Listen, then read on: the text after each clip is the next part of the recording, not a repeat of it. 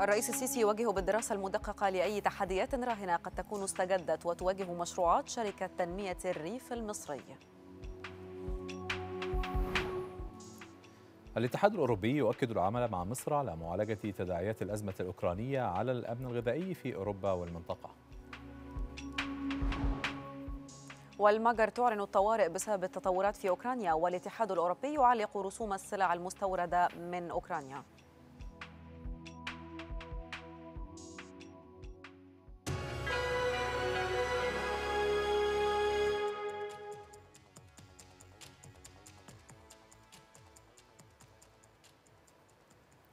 التاسعة مساء في القاهرة السابعة بتوقيت جرينتش نشرة إخبارية مفصلة تأتيكم من إكسترا نيوز. أهلا وسهلا بحضراتكم واستهلالها مع آية لطفي. أهلا بك آية. شكرا همام وأهلا بحضراتكم مشاهدينا الكرام. البداية حيث وجه الرئيس عبد الفتاح السيسي بقيم جميع جهات الاختصاص بالدراسة المدققة لأي تحديات راهنة قد تكون استجدت وتواجه مشروعات شركة تنمية الريف المصري الخاصة باستصلاح الأراضي. جاء ذلك خلال اجتماعه مع رئيس الوزراء ووزيري الري والزراعة وعدد من المسؤولين. وصرح المتحدث باسم رئاسة الجمهورية بأن الاجتماع استعرض الموقف التنفيذي الحالي لمشروع زراعة مليون ونصف مليون فدان على مستوى الجمهورية في نطاق شركة تنمية الريف المصري. اجتمع السيد الرئيس عبد الفتاح السيسي مع الدكتور مصطفى مدبولي رئيس مجلس الوزراء والدكتور محمد عبد العاطي وزير الموارد المائية والري والسيد السيد القصير وزير الزراعة واستصلاح الأراضي. واللواء أمير سيد أحمد مستشار رئيس الجمهورية للتخطيط العمراني. واللواء أركان حرب وليد أبو المجد مدير جهاز مشروعات الخدمة الوطنية للقوات المسلحة. واللواء أركان حرب عمرو عبد الوهاب رئيس مجلس إدارة شركة تنمية الريف المصري. المتحدث الرسمي باسم رئاسة الجمهورية صرح بأن الاجتماع تناول متابعة مشروعات شركة تنمية الريف المصري الخاصة باستصلاح الأراضي. وقد تم استعراض الموقف التنفيذي الحالي لمشروع زراعة مليون ونصف المليون فدان على مستوى الجمهورية في نطاق شركة تنمية الريف المصري. بما في ذلك مكونات البنية التحتية من شبكات الطرق والكهرباء والاتصالات ومقننات مياه الري وذلك بالمواقع الجغرافية المختلفة للمشروع على مستوى الجمهورية خاصة مناطق المنيا ومنفلوط وتشكى والمغرة وسيوة والفرفرة والطور. كما تم عرض الجهود المبذولة على مدار الفترة السابقة لتطوير شركة تنمية الريف المصري وتعظيم الاستفادة منها خاصة تطبيق قواعد الحوكمة والإدارة الرشيدة وإنشاء قواعد بيانات دقيقة لمتابعة ورصد موقف الأراضي ووضع نظام أساسي لتكويد الأراضي التابعة للشركة وكذا إعداد الخطة التسويقية الشاملة لأراضي الشركة. وقد وجه السيد الرئيس بقيام جميع جهات الاختصاص بالدراسة المدققة لأي تحديات راهنة قد تكون استجدت وتواجه المشروع خاصة ما يتعلق بإمدادات مياه الري وجودتها ومكونات البنية التحتية لا سيما تلك المتعلقة بتمهيد الطرق وأعمال التغذية الكهربائية وتطوير الآبار. فضلا عن النظر في توطين بعض الأنشطة الأخرى الإضافية بالأراضي التابعة للشركة. وذلك بهدف تعظيم الاستفادة القصوى من إنتاجية المشروع. أعلن رئيس مجلس الوزراء الدكتور مصطفى مدبولي عرض وثيقة سياسة ملكية الدولة على مجلس الوزراء ثم طرحها للحوار المجتمعي. وخلال اجتماع لمراجعة المسودة النهائية لوثيقة سياسة ملكية الدولة أكد مدبولي أن الحكومة مستعدة لسماع كل الآراء والتوجهات لأن هدفها واحد وهو مصلحة الوطن ودفع الاقتصاد. وأعلن مدبولي أنه سيتم تنظيم ورشة عمل بحضور عدد من الخبراء والمتخصصين ورجال الاقتصاد ورجال الأعمال والمستثمرين تعرض فيه الوثيقة وتكون بمثابة تدشين للحوار المجتمعي حول مضامين هذه الوثيقة المهمة حيث يستمر الحوار المجتمعي لمدة ثلاثة أشهر. وأكد رئيس الوزراء الدكتور مصطفى مدبولي أن الدولة تعمل على جذب المزيد من الاستثمارات خاصة بالمشروعات السياحية والتنموية التي تدر عائدا كبيرا بالنقد الأجنبي وتسهم في توفير فرص العمل. جاء ذلك خلال ترأسه اجتماعا لمتابعة الخطوات التنفيذية لأحد المشروعات السياحية والتنموية بالعالمين الجديدة. كما أكد مدبولي أهمية الاتفاق مع الشركات العالمية المتخصصة لإدارة وتشغيل المشروعات المزمع إقامتها في المنطقة الغربية ومشروع العلمين ريفيرا المقترح تنفيذه كما أكد رئيس الوزراء أن تنفيذ المشروع وغيره من مش أو من المشروعات المهمة يحول المنطقة الغربية الشمالية إلى وجهة سياحية عالمية ويجعل مدينة العلمين الجديدة ضمن أحد أهم المدن السياحية على المستوى العالمي.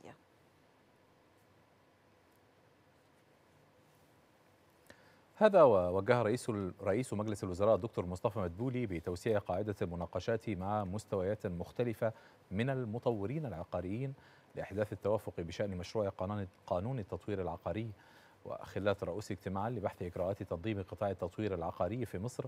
أكد رئيس الوزراء أهمية الخطوات التي تتم لتنظيم القطاع العقاري. وتطرق الاجتماع لمراجعة الصورة النهائية لمشروع قرار رئيس الوزراء بشأن ضوابط بيع وحدات مشروع التطوير لضمان حقوق المشترين تمهيدا لإصدار القرار والذي يعد خطوة سابقة لصدور مشروع القانون الذي تم إعداده بشأن التطوير العقاري بعد سلسلة من الاجتماعات والمناقشات مع المطورين العقاريين. وافق مجلس النواب برئاسة المستشار الدكتور حنفي جبالي نهائيا على مشروع قانون تنظيم الحج وإنشاء البوابة المصرية الموحدة للحج. يهدف مشروع القانون إلى تنظيم إجراءات فريضة الحج من خلال تشكيل لجنة وزارية ولجنة أخرى تنفيذية تضم الوزارات والجهات ذات الصلة للقضاء على بعض السلبيات التي تواجه بعثة الحج المصرية وتحقيق التعاون بين جميع الجهات المعنية بالحج.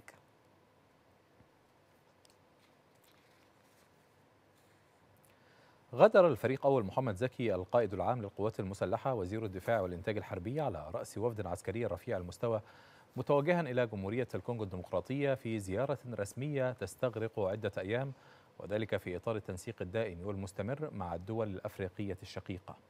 ومن المقرر أن تشهد الزيارة مناقشة عدد من الملفات والموضوعات ذات الاهتمام المشترك وبحث أوجه التعاون العسكري بين الجانبين. تأتي الزيارة في إطار الروابط الوطيدة التي تربط مصر والكونغو الديمقراطية واستمرار العلاقات التعاون العسكري بين القوات المسلحة المصرية والكونغولية.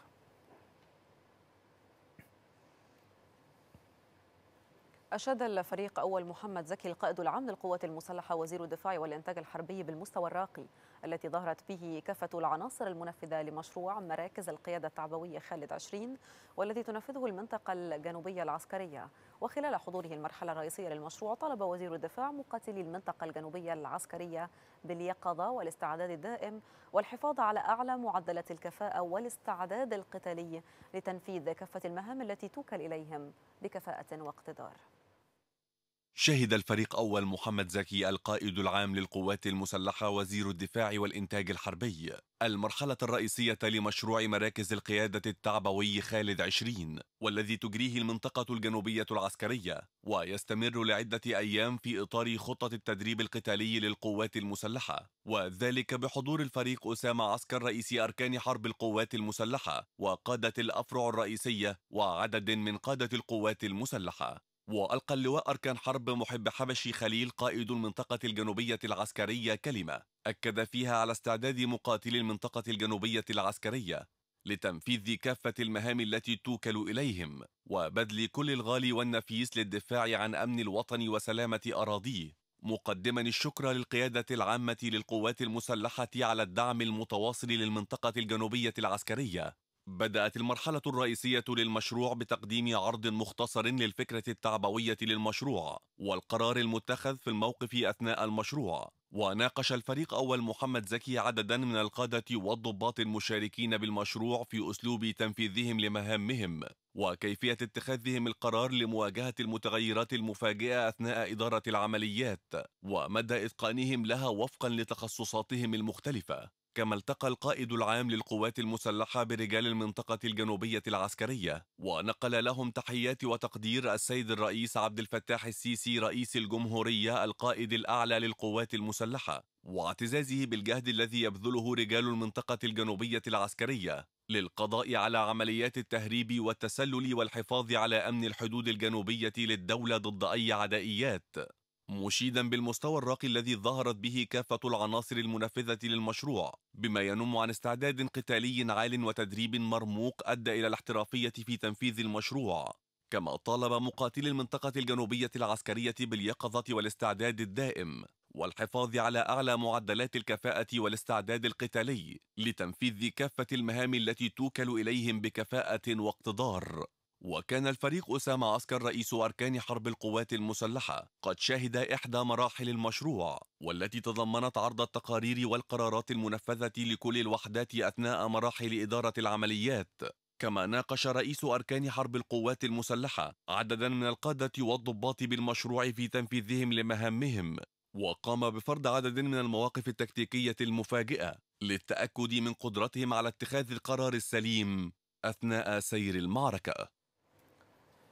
استقبلت أكاديمية ناصر العسكرية العليا بالتعاون مع الوكالة المصرية للشراكة من أجل التنمية. استقبلت وفدا لعدد من الشخصيات الإعلامية البارزة في القارة الأفريقية.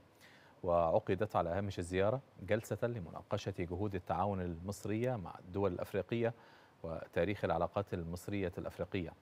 وتضمنت الجلسة مناقشة عدد من الموضوعات ذات الاهتمام المشترك والتأكيد على أن علاقات التعاون مع كافة دول القارة هي من أولى اهتمامات الدولة المصرية وكذلك أهمية توفير البيئة المناسبة لدعم الاستثمار في البلدان الأفريقية مع بلورة آلية جديدة تهدف إلى التعاون المثمر والبناء بين دول القارة الأفريقية.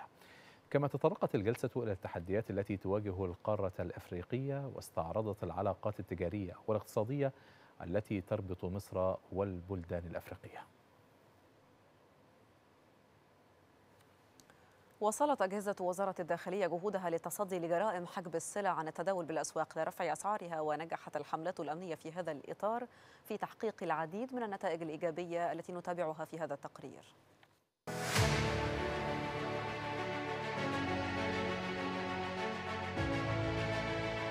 استمرارا للجهود الأمنية المبذولة لمكافحة الجرائم التموينية بشتى صورها وأصلت الإدارة العامة لشرطة التموين والتجارة حملاتها في هذا الإطار. بالتنسيق مع فروعها الجغرافية بمديريات الأمن وقطاع الأمن العام والتي أسفرت عن ضبط 35 طن أقماح محلية محظور تداولها خارج منظومة توريد وتداول القمح المحلي بقصد حجبها عن التوريد للإتجار بها في السوق السوداء بحوزة مالك شونة غلال بالقليوبية ومالك مخزن لتجارة الحبوب بدون ترخيص بالمنوفية وضبط 48 طن أقماح محلية تم حجبها عن التوريد بهدف الإتجار بها في السوق السوداء بالشرقية وسوهاج والبحيرة وبورسعيد. كما تمكنت الإدارة من ضبط 24 طن دقيق ومكرونة. قام مالك مخزن بدون ترخيص لتجارة السلع الغذائية بالجيزة بتخزينها لحجبها عن التداول بالأسواق وبيعها بأزيد من السعر المتداول. وضبط أكثر من 56 طن أرز وسكر غير معلن عن أسعارها. قام المسؤول عن مصنع لتعبئة السلع الغذائية بالشرقية بحجبها عن التداول بالأسواق لرفع أسعارها.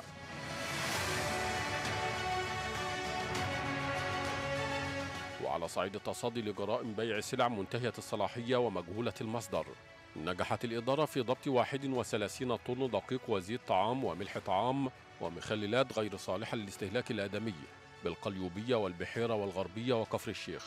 ونجحت الإدارة في ضبط 90 طن أسمنت تم تخزينها لحجبها عن التداول بالأسواق لرفع أسعارها وهو ما يؤدي إلى الإضرار بالاقتصاد الوطني بحوزة المسؤولين عن مخزنين لتجارة مواد البناء بدون ترخيص بالإسكندرية.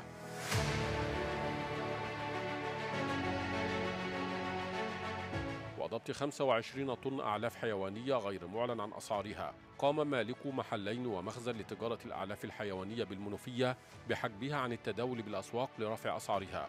وتمكنت من ضبط أكثر من 26 طن أعلاف حيوانية غير صالحة للاستهلاك الحيواني وذات أثر ضار على الثروة الحيوانية. بحوزة قائد سيارة بالفيوم ومالك مخزن بدون ترخيص لتجارة الأعلاف الحيوانية بسوهاج. تمهيدا لطرحها للبيع والتداول بالأسواق. وضبط 12 طن ونصف أسمدة زراعية غير صالحة للاستخدام الزراعي وذات أثر بالغ الضرر على الثروة الزراعية. بحوزة المسؤولين عن محلين لتجارة الأسمدة الزراعية بالشرقية. واصلت وزارة الداخلية حملاتها اليومية لمتابعة أسعار السلع الاستراتيجية وضبط قضايا حجب السلع والبيع بأسعار أعلى من السعر الرسمي. وتمكنت الوزارة خلال 24 ساعة تمكنت من ضبط 427 قضية تموينية بمضبوطات بلغت أكثر من 386 طن مواد غذائية وغير غذائية. وضبطت الحملات الأمنية 333 طنا في مجالي حجب السلع الاستراتيجية والاستيلاء على السلع المدعومة و39 طنا في مجال عدم الإعلان عن الأسعار بقصد البيع بأزيد من السعر الرسمي وذلك للسلع الغذائية وغير الغذائية. أما في مجالي الحجب والبيع بأزيد من السعر الرسمي لمواد البناء فتم ضبط أكثر من 13 طن أسمنت كما تمكنت وزارة الداخلية في مجال قضايا المخابز من ضبط 617 قضية من بينها أكثر من 200 قضية خبز ناقص الوزن و100 واثنتين واثنتان وعشرون قضية خبز غير مطابق للمواصفات. فضلا عن ضبط تسعة قضايا بمضبوطات بلغت 76 طن أقماح محلية في مجال ضبط مخالفات التلاعب بمنظومة توريد وتداول القمح المحلي.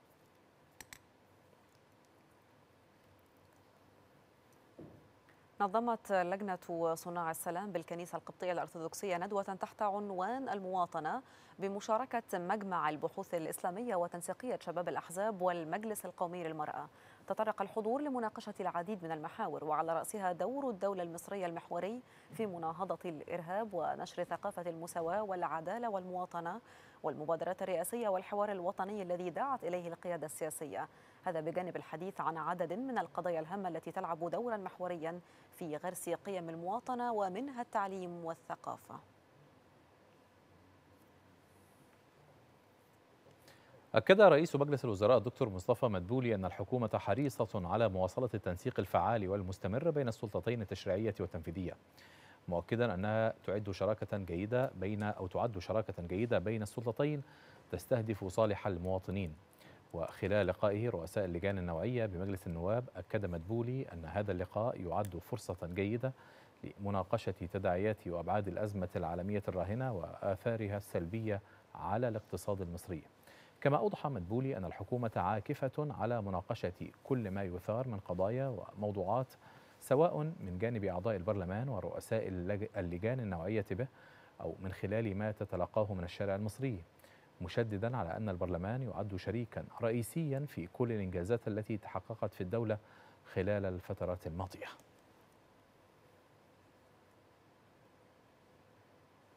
بحث وزير الخارجية سامح شكري مع نائب رئيس الوزراء وزير الخارجية وشؤون المغتربين الأردني أيمن الصفدي مستجدات الأوضاع على الساحتين الإقليمية والدولية لا سيما القضية الفلسطينية والتطورات الجارية فيها والأوضاع في المنطقة العربية. كما أشار المتحدث باسم وزارة الخارجية إلى أن اللقاء الذي عقد على هامش منتدى دافوس شهد توافقا في الرؤى حيال ضرورة الدفع قدما بتغليب الحلول السياسية لقضايا المنطقة على نحو يدفع بتثبيت السلم والاستقرار ويلبي تطلعات الشعوب العربية نحو الازدهار والرخاء. كما أعرب الوزيران عن اعتزازهما بالمستوى المتميز للعلاقات الثنائية التي تجمع البلدين الشقيقين على المستويين الرسمي والشعبي.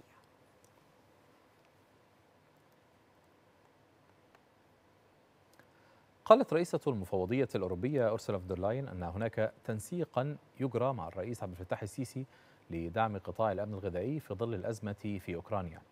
وخلال مشاركتها في منتدى دافوس أشارت فدرلاين إلى أنها تعمل مع الرئيس السيسي لمواجهة عواقب الأزمة في قطاع الغذاء لتبديل سلاسل التوريد القديمة بأخرى أكثر موثوقية. We're supporting Africa in becoming less dependent نحن ندعم أفريقيا بأن تصبح أقل اعتمادا على الواردات الغذائية. لذلك فإن أي مبادرة لتعزيز قدرة الإنتاج لأفريقيا سيكون أمر بالغ الأهمية لتقوية قدرة القارة على الصمود. إن بوادر أزمة الغذاء المتنامية واضحة. علينا أن نتحرك بشكل عاجل ولكن هناك أيضا حلول اليوم وفي الأفق. لهذا السبب أعمل مع الرئيس السيسي لمواجهة عواقب الأزمة في قطاع الغذاء لتبديل سلاسل التوريد القديمة. بأخرى أكثر موثوقية التقى السفير المصري في الولايات المتحدة معتز زهران مع المبعوث الأمريكي الخاص لليمن تيم ليندر كينج وأكد المبعوث الأمريكي خلال اللقاء أن الولايات المتحدة تقدر دعم مصر القوي لجهود السلام في اليمن والهدنة المستمرة.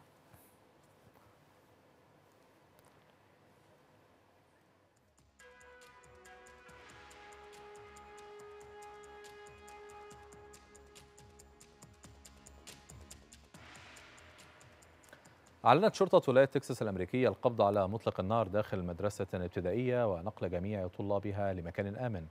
وكانت مدرسة في مدينة إيفالدي في ولاية تكساس قد تم إغلاقها بسبب حادث إطلاق النار وتحصن المسلح بداخلها.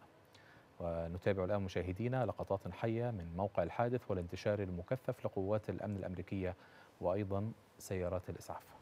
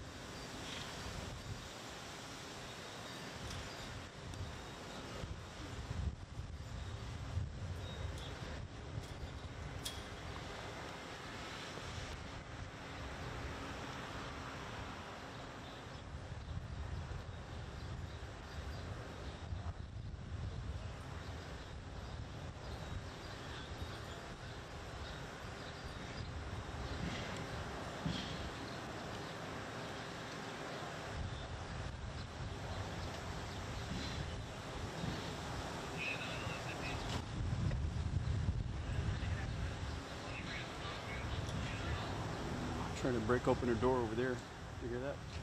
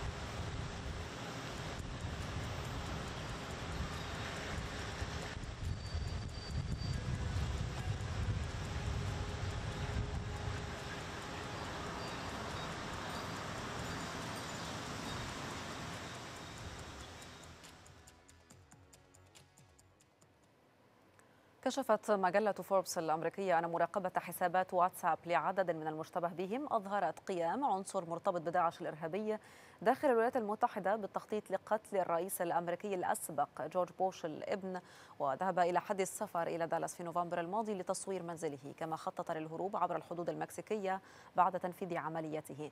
كما أضافت فوربس أن مكتب التحقيقات الفيدرالي كشف المخطط من خلال عمل اثنين من المخبرين السريين ومراقبة حساب المنفذ المزعوم على منصة واتساب مبينة أن المشتبه به اعترف بأنه كان يريد اغتيال بوش لأنه شعر أن الرئيس السابق مسؤول عن قتل العديد من العراقيين وتفكيك البلاد بعد الغزو العسكري الأمريكي عام 2003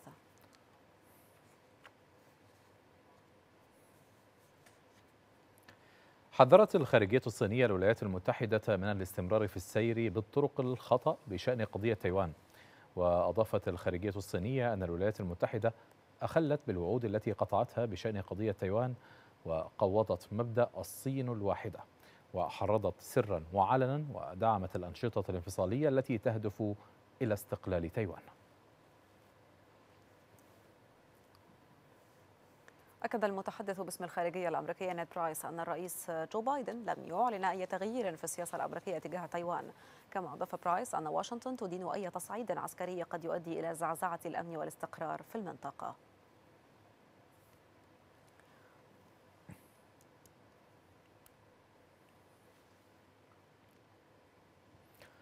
كان الرئيس الأمريكي جو بايدن قد أكد أن سياسة واشنطن حيال تايوان والقائمة على الغموض الاستراتيجي لم تتغير.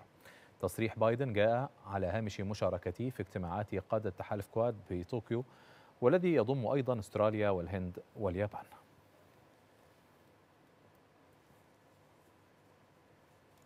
حذر قادة اليابان والهند وأستراليا الولايات المتحدة من محاولات تغيير الوضع القائم بالقوة في المنطقة بينما يتزايد القلق.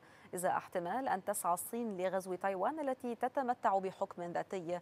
وتجنب بيان مشترك للتحالف العربي للحوار الأمن أو الرباعي للحوار الأمني كواد. الإشارة بشكل مباشر لتصاعد النفوذ العسكري للصين في المنطقة لكنه لم يدع مجالا للشك بشأن مكامن قلقه. في ختام اجتماعهم بالعاصمة اليابانية طوكيو تعهد زعماء دول تحالف الرباعية كواد بالتعاون كي تكون منطقة المحيطين الهندي والهادئ حرة ومنفتحة كما تعاهدوا بالعمل على مكافحة الاحتباس الحراري وكشفوا عن مبادرة جديدة تستهدف الحد من الصيد الجائر في منطقة المحيطين الهندي والهادئ. رئيس الوزراء الياباني فوميو كيشيدا أكد أن المجتمعين اتفقوا على استثمار 50 مليار دولار في مشاريع مرتبطة بالبنى التحتية معتبرا أن تغيير الوضع الراهن بشكل أحادي في أي منطقة بالعالم غير مقبول. من جانبه شدد الرئيس الأمريكي جو بايدن على أن الولايات المتحدة ستقف إلى جانب شركائها للضغط من أجل أن تكون منطقة المحيطين الهندي والهادئ حرة ومفتوحة. وفي كلمته أكد رئيس الوزراء الأسترالي أنتوني ألبانيز بأن أولويات حكومته تتماشى مع أولويات القادة المشاركين وتعهد بالاستثمار أكثر في المعركة ضد تغير المناخ. يذكر أن مجموعة كواد التي تضم دول الولايات المتحدة واليابان والهند وأستراليا تم إنشاؤها في أعقاب تسونامي المحيط الهندي عام 2004 إلا أن هذه الجولة من المشاورات تمثل الاجتماع الشخصي الثاني فقط للقادة. أعلنت حكومة جزر سليمان الواقعة في المحيط الهادي أنها ستستقبل وزير الخارجية الصيني وانغ يي يومي الخميس والجمعة المقبلين. ومن المقرر أن يناقش وزير الخارجية الصيني مع نظيره عددا من القضايا ذات الاهتمام المشترك. كما سيلتقي وزير الخارجية الصيني رئيس الوزراء في جزر سليمان. يأتي هذا في وقت كان قد أكد فيه رئيس الوزراء في جزر سليمان تطلعه إلى انخراط مثمر مع الصين بوصفها شريكا إنمائيا مهما لبلاده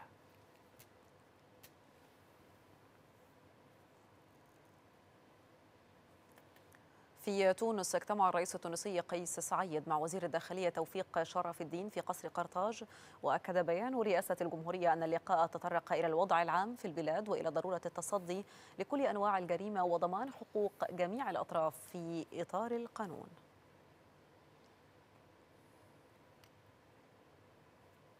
هذا واستقبل الرئيس التونسي قيس سعيد في قصر قرطاج الرئيس المنسق للهيئة الوطنية الاستشارية من أجل جمهورية جديدة صادق بالعيد. وتناول الاجتماع بحسب رئاسة الجمهورية التونسية. تناول الاستعدادات الجارية لانطلاق عمل اللجنة الاستشارية للشؤون الاقتصادية والاجتماعية واللجنة الاستشارية القانونية. كما تم التطرق للقاءات التي تمت مع عدد من الجهات لبيان حقيقة الأوضاع في تونس والإرادة الثابتة على المضي قدما في إنشاء جمهورية جديدة.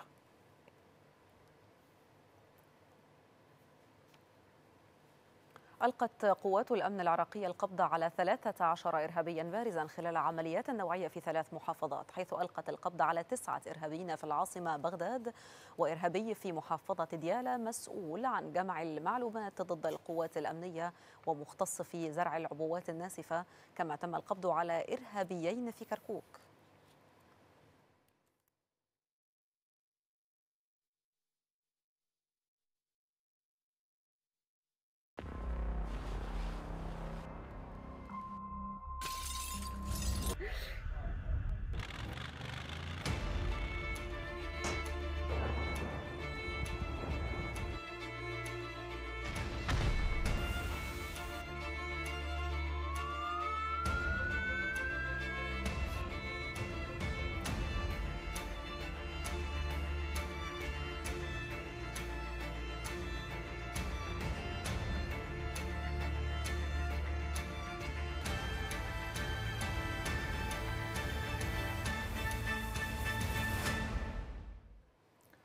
أعلن رئيس الوزراء المجري فيكتور أوربان حالة الطوارئ وذلك لمواجهة تداعيات العملية العسكرية في أوكرانيا.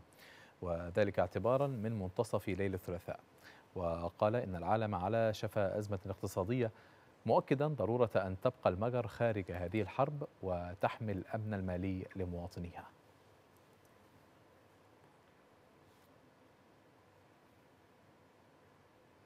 اتفق الرئيس الأمريكي جو بايدن ورئيس الوزراء الأسترالي أنتوني ألبانيز على أهمية تضامنهما لئلا يتكرر حدث مثل التدخل الروسي في أوكرانيا في منطقة المحيطين الهندي والهادئ كما أشاد الرئيس الأمريكي بدعم أستراليا القوي لأوكرانيا منذ بدء العملية الروسية. كما جدد بايدن تأكيد دعمه الثابت للتحالف الأمريكي الأسترالي والتزامه بتعزيزه على نحو أكبر. كما أثنى الجانبان بالتقدم السريع الذي تحرزه الولايات المتحدة وأستراليا إلى جانب المملكة المتحدة في إطار شراكة أوكوس الدفاعية.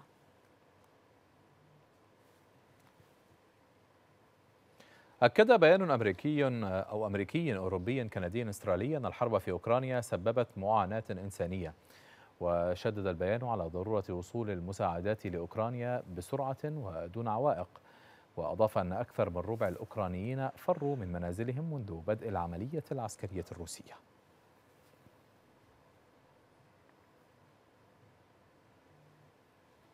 أعلنت وزارة الدفاع الروسية أن خبراء المتفجرات الروس أكملوا إزالة الألغام من ميناء ماريوبل بشكل كامل وأنه تم فحص 134 مبنى والعثور على أكثر من 12 ألف قطعة متفجرة.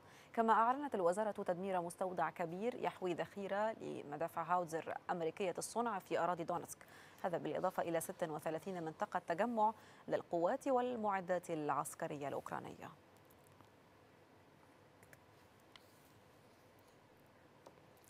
قالت وزيرة الدفاع الكندية أن كندا اشترت 20 ألف قذيفة أو قذيفة مدفعية من الذخيرة القياسية التي يستخدمها حلف شمال الأطلسي لصالح أوكرانيا دعما لها في الدفاع عن نفسها في مواجهة ما سمته بالغزو الروسي. ويتم شراء الذخيرة من الولايات المتحدة مقابل أكثر من 76 مليون دولار وسيتم تسليمها قريبا إلى كييف. أعلنت الخارجية الروسية أن موسكو منعت 154 عضوا في مجلس اللوردات البريطاني من دخول أراضيها. أكد بيان الخارجية أن القرار جاء ردا على القرار الذي اتخذته الحكومة البريطانية في مارس الماضي لوضع قائمة عقوبات تشمل مجلس الاتحاد بأكمله تقريبا. قال الرئيس الأوكراني فولوديمير زيلينسكي أنه سيكون من الصعب ترتيب أي لقاء على المستوى الرئاسي بين روسيا وأوكرانيا ما لم يكن نظيره الروسي فلاديمير بوتين مستعدا بالفعل لإنهاء العملية العسكرية. وأضاف الرئيس الأوكراني أنه لن يجتمع أيضا مع روس من المستوى الأدنى.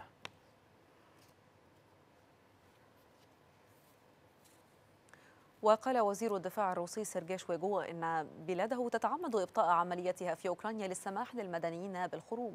كما أضاف شويغو إنه أو أنه يجري الإعلان عن عمليات وقف لإطلاق النار وفتح ممرات إنسانية لإخراج المواطنين من التجمعات السكنية المحاصرة.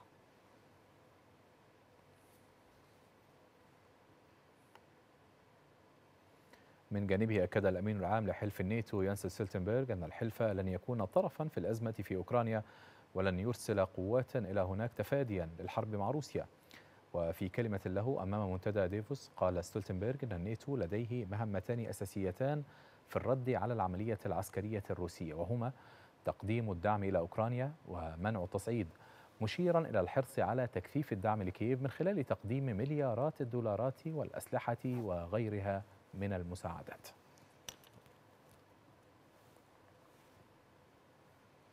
أعرب الرئيس البولندي أندري دودا عن خيبة أمله العميقة لأن ألمانيا لم تزود بلاده بعد بالدبابات مقابل تلك التي أرسلتها وارسو إلى أوكرانيا. وكانت بولندا أقرت في إبريل بأنها أرسلت دبابات سوفيتية الصنع تي 72 إلى أوكرانيا لكنها لم تحدد عددها. فيما قالت صحيفة دير شبيغل الألمانية أن وارسو أصرت على الحصول على دبابات حديثة وطالبت بإمدادها بدبابات ليوبارد الألمانية من أحدث طراز.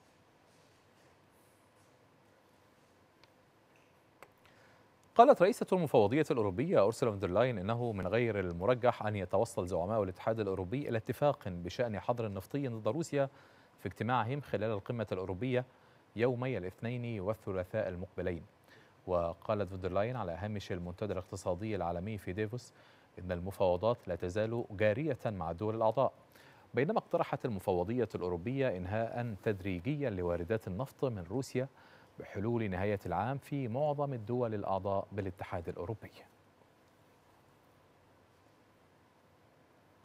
أعلنت الرئاسة الفرنسية أن التوصل إلى اتفاق ما زال ممكنا في الأيام المقبلة لتجاوز تحفظات المجر على فرض حظر أوروبي على النفط الروسي.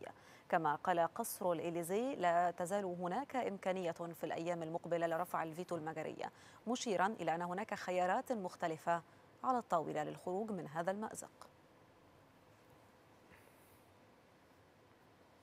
من جانبه استبعد رئيس الوزراء المجري فيكتور أوربان التوصل لاتفاق حول فرض حظر نفطي على روسيا خلال الأيام المقبلة. جاء ذلك في رسالة من أوربان إلى رئيس المجلس الأوروبي شارل ميشيل. وقال رئيس الوزراء المجري بحسب الرسالة إنه سيكون من غير المجدي مناقشة هذه الحزمة السادسة من العقوبات خلال قمة رؤساء دول وحكومات أعضاء الاتحاد السبع والعشرين المقررة في الثلاثين والحادي والثلاثين من مايو في ظل غياب أي توافق.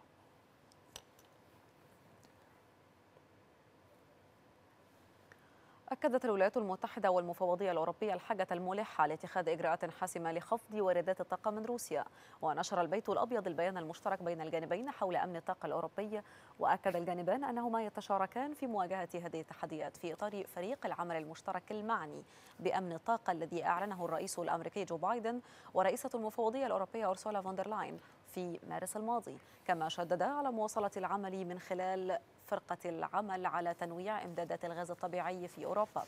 ورحبت الولايات المتحدة والمفوضية الأوروبية بعقد فنلندا لاستئجار محطة استيراد غاز طبيعي موسى العائمة من مزود أمريكي من المقرر تشغيلها قبل نهاية عام 2022 الجاري. هذا باعتبارها خطوة مهمة نحو تحقيق أهداف فرقة العمل.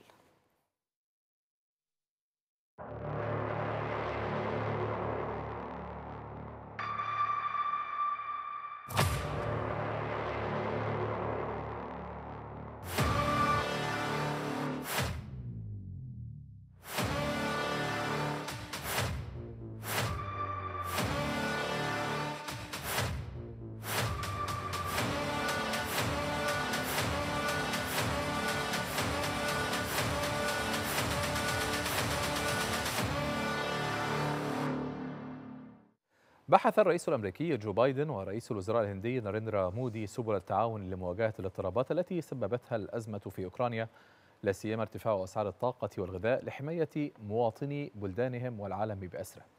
وبحسب بيان للبيت الأبيض فقد جدد بايدن ومودي جدد التزامهما بتعميق شراكتهما الدفاعية الرئيسية وتشجيع المشاركة الاقتصادية التي تصب في مصلحة البلدين وتوسيع شراكتهما في مختلف المجالات ومن بينها الصحة العالمية والتأهب للأوبئة كما تطرق بايدن ومودي أيضا إلى مناقشة اعتقادهما المشترك بالحاجة الملحة للتصدي لأزمة تغير المناخ كما أعرب عن تطلعهما لتعزيز شراكتهما لتسريع التحول العادل للطاقة في الهند.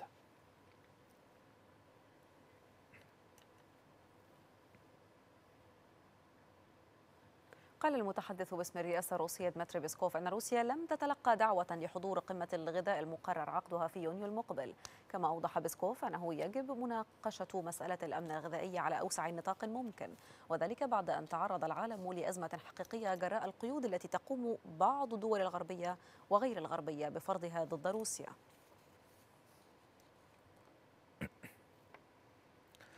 من جانبه أكد وزير الخارجية الأمريكي أنتوني بلينكن أن أزمة الغذاء الدولية الناتجة عن العملية العسكرية الروسية تحتاج ردا دوليا. جاء ذلك خلال المباحثات الهاتفية مع نظيره الأوكراني ديمترو كوليبا لبحث الوسائل الممكنة لتوريد القمح الأوكراني إلى السوق الدولية. كما أبلغ بلينكن كوليبا أن تشريع المساعدات البالغة قيمة أو البالغة قيمته 40 مليار دولار سيؤمن تمويلا للمساعدات الأمنية والاقتصادية والإنسانية لأوكرانيا. قال مسؤول بريطاني إن فاتورة الطاقة سترتفع بسرعة صاروخية في الخريف لتصل إلى 2800 جنيه استرليني في السنة لملايين الأسر. كما حذر مدير هيئة مراقبة الطاقة في بريطانيا وجوناثان برييلي وزير الخزانة ريشي سوناك من الارتفاع الهائل في سقف أسعار الطاقة.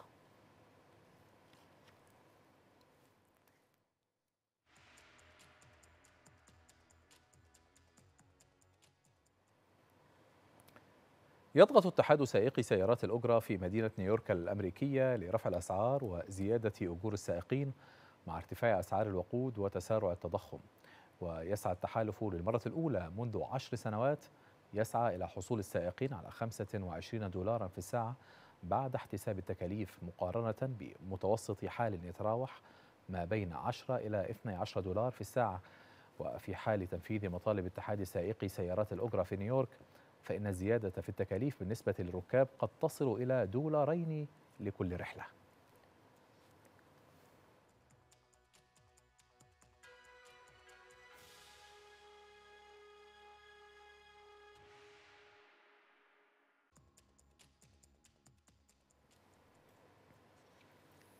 علق الاتحاد الأوروبي العمل بالرسوم المفروضة على السلع المستوردة من أوكرانيا وتوافق ممثلو دول الاتحاد الأوروبي على هذا القرار في مسعى لدعم الاقتصاد الأوكراني المتضرر بشدة من جراء العملية العسكرية الروسية.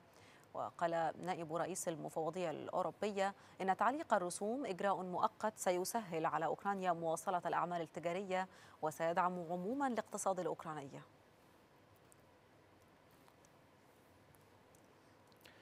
شدد الرئيس الروسي فلاديمير بوتين على أن الاقتصاد الروسي في ظل الظروف الجديدة سيكون منفتحا وأن العقوبات الغربية لن تنجح في عزل اقتصاد بلاده. وخلال اجتماع حكومي عقده حول تطوير قطاع النقل وجه الرئيس الروسي الحكومة بتسريع تطوير البنية التحتية في البلاد خلال السنوات المقبلة. كما أشار إلى أن رغبة عدد من الدول في الانسحاب من روسيا تظهر مدى أهمية تنويع مسارات النقل.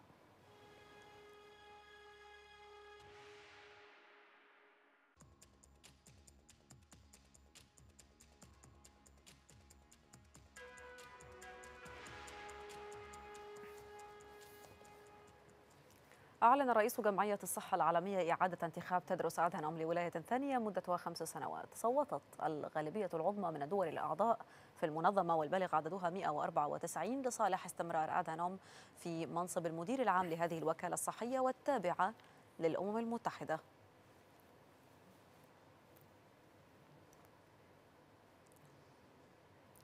أكدت منظمة الصحة العالمية تسجيل 131 إصابة مؤكدة بجدر القردة ورصد 100 106 حالات مشتبه بها في 19 دولة.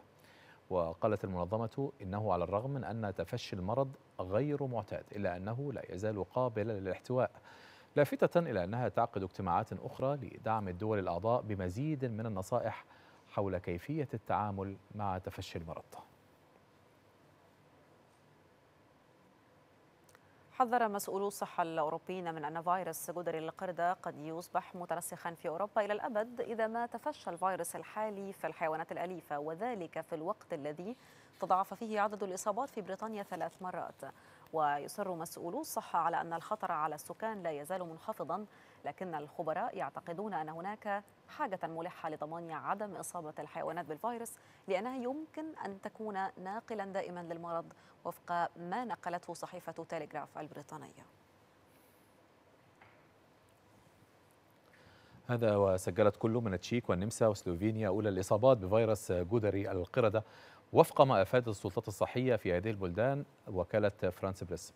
وفي تشيكيا رصد المرض لدى رجل في المستشفى العسكري الجامعي في براغ وذلك وفق مدير الجمعية التشيكية للأمراض المعدية وفي النمسا قالت السلطات الصحية في العاصمة إن رجلا نقل إلى أحد مستشفيات فيينا بعدما ظهرت عليه أعراض جدر القردة بما فيها بما فيها الحمى. تبين أنه مصاب بالمرض.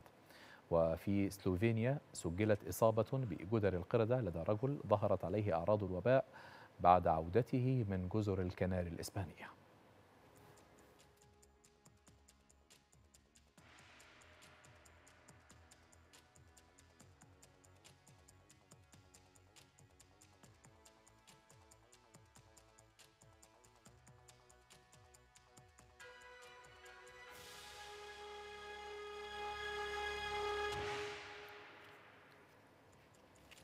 محليا من جديد نفى المركز الإعلامي لمجلس الوزراء وجود أزمة في توفير الأرز في الأسواق تأثرا بالأزمة الاقتصادية العالمية. كما أكد المركز توافر كافة السلع الغذائية الأساسية بشكل طبيعي من بينها الأرز.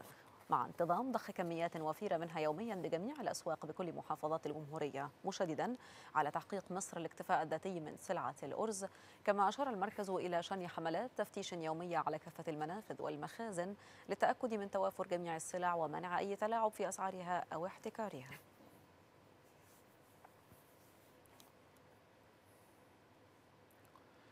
أكدت وزارة الاتصالات أن الدولة المصرية الرقمية في ظل الجمهورية الجديدة تتحقق على أرض الواقع في الوزارات والمحافظات والهيئات العامة مشيرا إلى أن بناء مصر الرقمية مسؤولية, مسؤولية تشاركية بين جميع مؤسسات الدولة. وأشارت الوزارة إلى أن أعداد أبراج المحمول زادت بنحو 73% خلال العام الماضي ومن المستهدف مضاعفتها خلال العام الجاري لافتا إلى أن النهوض بمكاتب البريد كذلك من ضمن أولويات مشروع حياة كريمة لتوفير خدمات تتناسب مع احتياجات المواطنين بشكل ميسر وبسيط.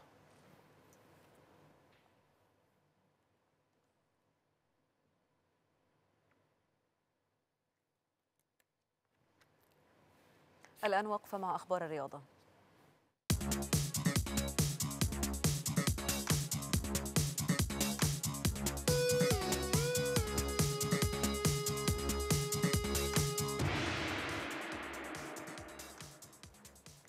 يواصل فريق الأهلي تدريباته استعدادا للمواجهة المرتقبة أمام نظيره الوداد المغربي في نهائي دوري أبطال أفريقيا يوم 30 مايو الجاري في الدار البيضاء. كان الأهلي قد تأهل لنهائي البطولة بعد فوزه على وفاق سطيف الجزائري فيما نجح الوداد في التأهل على حساب بترو أتلتيكو الأنغولي.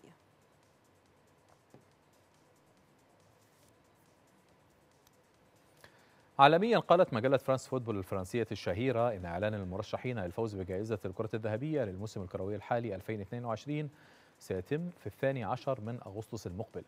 كما أعلنت المجلة إقامة حفل الكرة الذهبية وتسليمها إلى الفائز في السابع عشر من أكتوبر. وكان النجم الأرجنتيني ليونيل ميسي لاعب باريس سان جيرمان الفرنسي هو آخر أو هو آخر من توج بجائزة الكرة الذهبية عن عام 2021 هذا وينافس النجم الفرنسي كريم بنزيما هداف ريال مدريد ثنائي ليفربول المصري محمد صلاح والسنغالي ساديو ماني.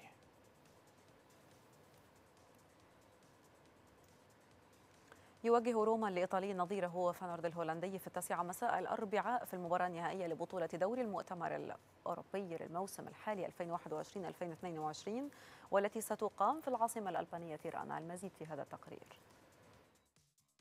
الملعب الوطني في العاصمة الألبانية تيرانا على موعد مع نهائي النسخة الأولى من بطولة دوري المؤتمر الأوروبي بين روما الإيطالي ومنافسه فاينورد الهولندي في حضور نحو عشرين ألف مشجع. روما تأهل إلى نهائي بطولة دوري المؤتمر الأوروبي للموسم الحالي إثر تغلبه على ليستر سيتي بهدفين مقابل هدف في مجموع مباراتي الذهاب والإياب ليصل إلى أول نهائي أوروبي لأول مرة منذ عام 1991 وذلك في أول مواسمه تحت قيادة المدرب البرتغالي جوزيه مورينهو. أما فريق فاينورد صعد إلى النهائي على حساب مارسيليا الفرنسي بعد التعادل سلبيا معه على أرض ملعبه التاريخي فيلودروم وذلك بعد الفوز عليه بثلاثة أهداف لهدفين في مباراة الذهاب. الاتحاد الأوروبي لكرة القدم أعلن أن الفائز بلقب دوري المؤتمر الأوروبي هذا الموسم سيحصل على جائزة مالية قدرها خمسة ملايين يورو فيما يحصل الوصيف على ثلاثة ملايين يورو كما خصص اليويفا أربعة ألاف تذكرة لكل من روما وفاينورد لحضور الجماهير المباراة النهائية. روما وفاينورد يطمحان إلى كتابة اسميهما بأحرف من نور في تاريخ البطولة والتتويج بها للمرة الأولى كما يسعى الاستثنائي مورينيو أن يكون المدرب الأول في التاريخ الذي ينجح في الفوز بدوري أبطال أوروبا والدوري الأوروبي ودوري المؤتمر الأوروبي. تأهلت اللاعبة المصرية ميار شريف إلى منافسات الدور الثاني لبطولة رولان جاروس للتنس إحدى بطولات الجراند سلام الأربعة. وتغلبت ميار بمجموعتين دون رد بواقع 6-3 و7-5 لتحقق أول فوز للاعبة أو للاعبة مصرية في التاريخ. وستلعب النجمة المصرية أمام السلوفينية تمارا زيدانسك المصنفة الخامسة والعشرين عالميا في الدور المقبل.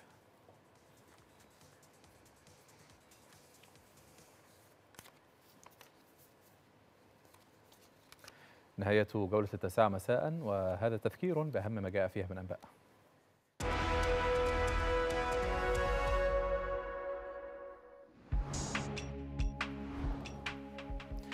الرئيس السيسي يوجه بالدراسة المدققة لأي تحديات راهنة قد تكون استجدت وتواجه مشروعات شركة تنمية الريف المصري. الاتحاد الأوروبي يؤكد العمل مع مصر على معالجة تداعيات الأزمة الأوكرانية على الأمن الغذائي في أوروبا والمنطقة. والمجر تعلن الطوارئ بسبب التطورات في أوكرانيا والاتحاد الأوروبي يعلق رسوم السلع المستوردة من أوكرانيا. ختاما ولمزيد من الأخبار يمكنكم تحميل تطبيق إكسترا نيوز من خلال Apple Store أو Google Play أو من خلال ال QR code الظاهر على الشاشة أمام حضراتكم.